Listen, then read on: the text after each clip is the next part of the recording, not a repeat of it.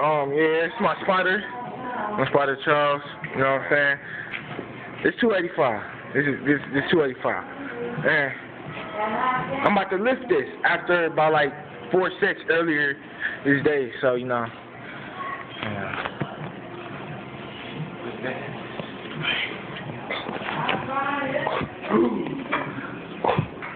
Clutch, man. Here you go, ma.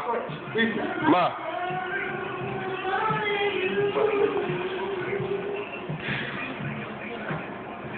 See,